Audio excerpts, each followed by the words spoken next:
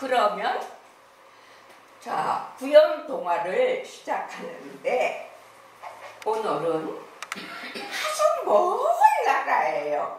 아주 먼 나라에 안델슨이라는 아주 유명한 어린이 책만 쓰시는 선생님이 계셨어요. 그분은 자 미운 오리 새끼 말고도 소공요래는 책, 성냥팔이 소녀, 백조의 왕자 등등 우리나라에 와 있는 유명한 책들은 몇십 권이 돼요. 그 중에서 오늘 할머니는 미운 오리 새끼를 자 여러분과 함께 이야기하면서 들려드릴게요. 자 친구들 박수 한번 부탁할까요? 네.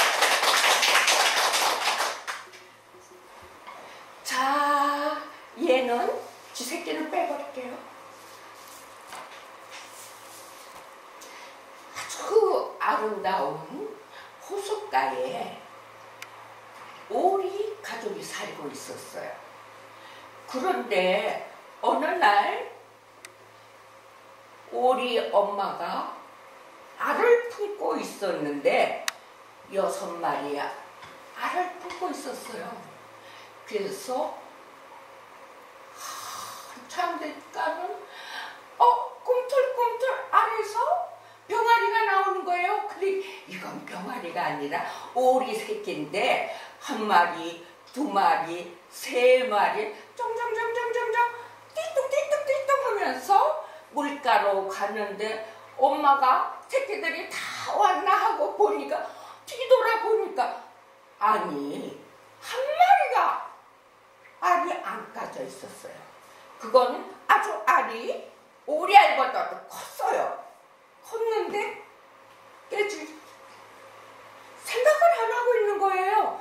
그래서 엄마가 이상하다고 띠뚱띠뚱띠뚱띠뚱 하고 알 쪽으로 가보니까 생긴 것도 이상하고 알도 크고 엄마는 갸우뚱 이게 누굴까? 왜 이런 게 여기 있을까? 그래도 내 새끼니까 내가 품어줘야지 하고 알을 며칠 동안 품고 있었는데 어느 날 기적같이 그 알이 깨지면서 그 안에서 아니 이럴 수가 오리가 아닌 아주 못생긴 새끼 한 마리 나왔어요. 이것이 바로 미운 오리 새끼의 탄생입니다. 이제서부터 이야기할게요. 자, 이놈은 어떻게 해서 오리 품에 같이 품고 있었는지는 모르지만 일단은 얘는 오리 가족의 막내로서 살게 됐어요. 아주 행복하고 즐거운 줄 알았더니 어느 날서부터인가 이건 아닌데 나는 왜 이럴까? 나는 왜 가족들이 나를 미워할까? 어, 참 이상하다. 왜 생김새도 틀리지? 부리 색깔도 틀리고, 다리 색깔도 틀리고, 나는 왜 까만 거야? 참 이상하다.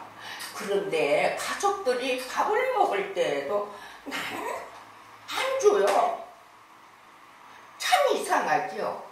그런데 그게 안 주는 게 아니라 오리 새끼가 아니기 때문에 똑같이 밥을 먹지 못하는 거예요. 그래서 형하고 누나가 재근재근 씹어가지고 그 막내를 주기 위해서 같이 밥을 못 먹었을 뿐이에요. 어, 그런데 참 잘 때도 보면은, 어, 다른 가족들은 다 한데 뭉쳐서 자는데 저만 같이 앉아요. 나만 싫어하는가 봐요. 근데 그것도 아니에요.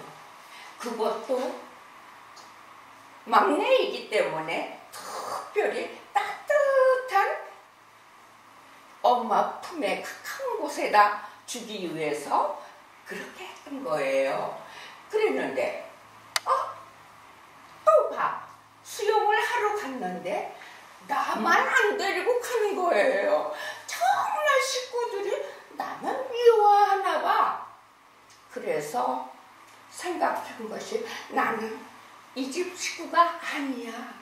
나는 이 집 식구 아니니까 내 가족을 찾아서 난 갈 거야. 우리 엄마를 찾아서 갈 거야. 어느 날 조심 조심 살금 살금 훌쩍 훌쩍 울면서 가족을 찾기 위해서 떠났어요. 엄마, 우리 엄마죠? 나는 아닌데, 난 고슴도치야. 어쩌면은 털이 비슷하기도 했어. 또 한참 가다가, 어? 저건 맞다. 엄마! 엄마! 우리 엄마지요? 아니, 난 토끼야. 토끼 털이 하얗게 보였기 때문에 아, 우리 엄마인 줄 알았잖아요. 아니야, 아니란다. 나는 너같이 물에서 안 살잖아. 그렇구나. 어떡하지? 어, 그런데 뭔 이상한 새가 있다. 가서 물어봐야지. 엄마, 엄마. 나도 아니야. 너네 엄마 아니야. 그러면 우리 엄마는 어디 가서 찾나요? 하, 이제 기진맥진했어요. 그러다가 보니까는 어마 커다란 백조가 새끼 들을 데리고 가는데 엄마 백조는 부리도 이렇게 이쁘고는 애기 백조들은 부리도 시커멓고 꼬리도 못생기고 깃털도 못생기고 모든 것이 엄마 백조하고는 달랐던 거예요. 그래서 엄마 백조 뒤에 따라오는 새끼들을 보니까 어머머머 저 나하고 똑같이 생겼잖아 엄마 엄마 그럼 난 백조인가 아 그런가 보다 내가 백조다 내가 백조다 우리 가족을 찾았습니다. 그리고선 백조에 가까이 가서 같이 백조 가족들하고 같이 헤엄을 치면서 살고 있는데 어머어머 이것도 내 가족이 아니야.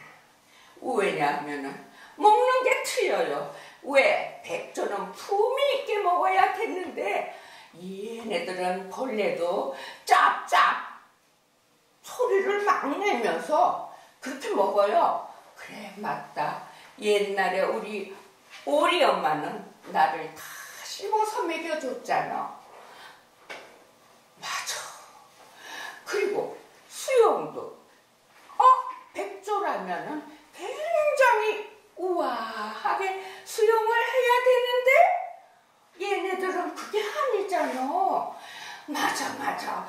그래서 우리 엄마가 수영도 안 데리고 가고 나를 조금 클 때까지 기다려서 수영을 가르쳤던 거야. 이제 생각하니까는 우리 엄마가 보고 싶어. 옳죠, 옳죠. 난 다시 갈 거야. 우리 가족한테 갈 거야. 살금살금 조심 조심 울면서 울면서 우리 가족한테 갔어요. 그런데 저쪽에서 어머 우리 가족들이 보이잖아요. 엄마, 엄마, 엄마. 우리 언니가 엄마 제 막내 아니에요. 엄마 저기 막내가 돌아오고 있어요. 아이고 저 내 새끼 막내로구나. 어서 어서 어서 오너라 막내야. 엄마 하면서 가족들이 모여 한바탕 울고는 그 다음부터는 그 호숫가에서 행복하게 미운 오리 새끼는 아주 아름답고 우아한 백조로 자라면서 오리 가족들과 함께 행복하게 살았답니다. 친구들 이걸로 끝날 거예요 할머니는 할머니 이야기 잘 들었어요? 네. 고마워요. 그럼 다음에 다시 만나요. 인사합시다. 자, 할머니, 안녕히 가세요. 할머니 안녕히 가세요.